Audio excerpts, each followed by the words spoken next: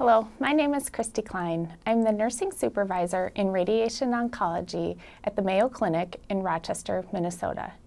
Today I'm going to discuss with you the skincare recommendations for individuals who are receiving radiation therapy to the breast or chest wall. When receiving radiation therapy to the breast or chest wall, the treatment field may also encompass the upper chest, underarm, and upper back, in addition to the breast or chest wall. This is something that you should review with your radiation oncology healthcare provider. Skin changes, most often erythema or redness of the skin, may begin to develop as soon as the second week of radiation therapy. It is most common, though, that this is more evident by the third or fourth week of radiation therapy. It is common during radiation therapy that your skin may become red, dry, or itchy. It may feel warm or sunburned. Some individuals may also notice that they may see some intermittent or transient redness or erythema within the first few radiation treatments.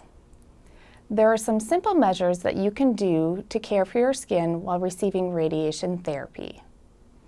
You should avoid tight-fitting and heavy clothing. Underwire bras or breast prosthesis may cause additional irritation. Loose cotton clothing or undergarments are preferred. Avoid shaving the underarm area while receiving radiation therapy as this may cause increased friction. You should use a mild soap to cleanse the area daily. Please avoid the use of powders in the underarm area or under the breast fold. Avoid extreme temperatures, such as heating pads or cold ice packs, as this may cause some thermal injury to the area, both during radiation therapy and after the completion of radiation therapy. You should avoid swimming in chlorinated pools or the use of hot tubs while receiving radiation therapy and until the skin heals. Also, avoid swimming in lakes or rivers as this can cause infection until the skin is well healed. You may wish to sit in front of a fan with the breast or chest wall exposed for 10 minutes a few times a day. This can help alleviate some of that warming sensation that may occur. Please discuss with your healthcare provider while you're receiving radiation therapy if you may use deodorant in the underarm that is within the treatment field.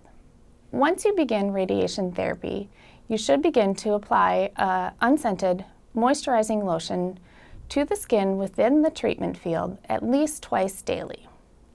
You may also use aloe vera if you notice that there is a warming sensation to help alleviate this.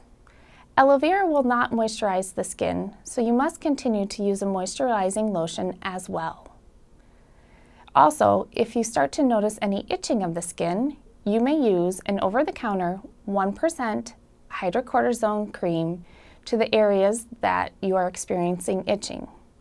The hydrocortisone cream as well will not moisturize, so please continue to use your moisturizing lotion at least twice daily in addition to the hydrocortisone cream. If you begin to notice some brisk redness with discomfort of the skin within the radiation treatment field, you may wish to switch from a moisturizing lotion to Aquaphor, a healing ointment. This may be used at least twice daily or more often as needed for comfort. It is common that you may begin to notice some peeling of the skin within the radiation treatment field. This can occur in the final weeks of treatment or up to the two weeks following radiation therapy. Your skin may continue to redden or darken up to two weeks following the completion of radiation therapy. Your skin also may be more sensitive for up to four weeks after the completion of radiation therapy. It is important to know that any of the hair within the radiation treatment field area may not regrow. While you are receiving radiation therapy, you will be seen by a member of the healthcare team at least once a week during your treatments. These visits are an excellent time to discuss with your radiation provider any questions regarding skincare.